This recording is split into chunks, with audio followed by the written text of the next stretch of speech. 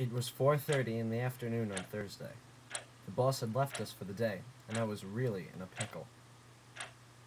The videos were due in half an hour, and I was plumb out of ideas. Just then, Stan strolled in and tossed me the new Avid DVD. Just pop it in, and it runs with no problems at all. I got the job done, and the day was saved. Private Eye out.